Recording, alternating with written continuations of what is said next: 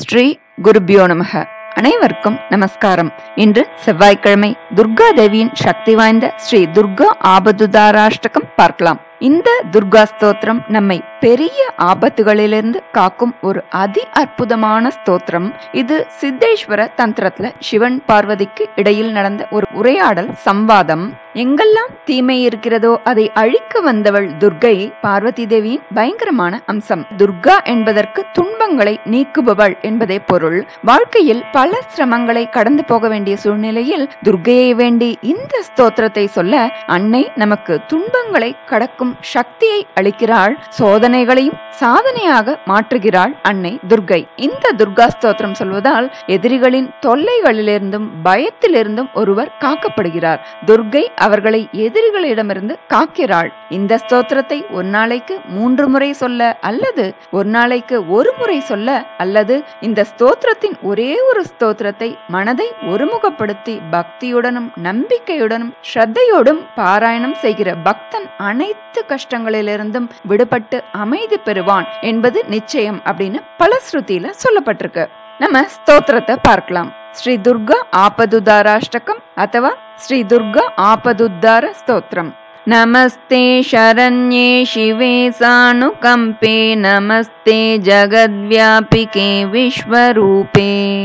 नमस्ते जगद्वन्द्यपादारविन्दे नमस्ते जगत्तारिणित्राहि दुर्गे नमस्ते जगत्तारिणित्राहि दुर्गे नमस्ते जगच्चिन्त्यमानस्वरूपे नमस्ते महायोगि विज्ञानरूपे नमस्ते नमस्ते सदानन्दरूपे नमस्ते जगत्तारिणित्राहि दुर्गे नमस्ते जगत्तारिणित्राहि दुर्गे अनाथस्य दीनस्य तृष्णातुरस्य भयार्तस्य भीतस्य बद्धस्य जन्तो।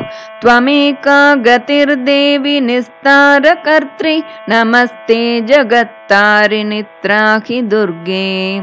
नमस्ते जगत्तारिणित्राहि दुर्गे अरण्ये रणे दारुणे शत्रुमध्ये जले सङ्कटे राजगेहे प्रवाते त्वमेका गतिर्देवि निस्तारहेतु। नमस्ते जगत्तारिणित्राहि दुर्गे।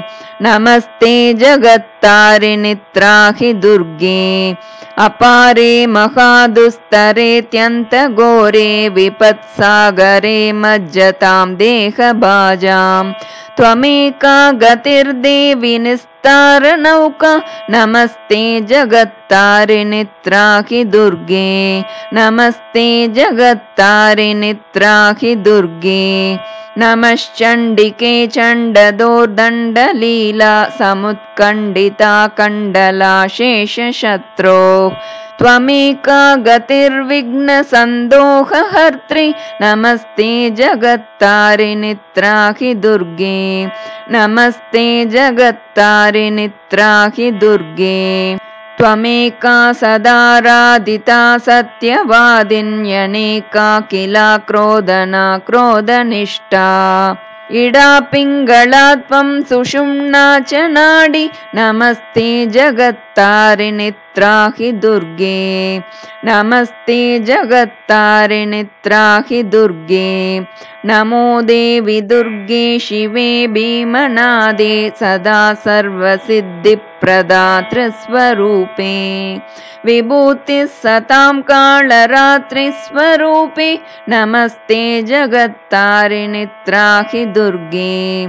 नमस्ते जगत्तारिणित्राहि दुर्गे।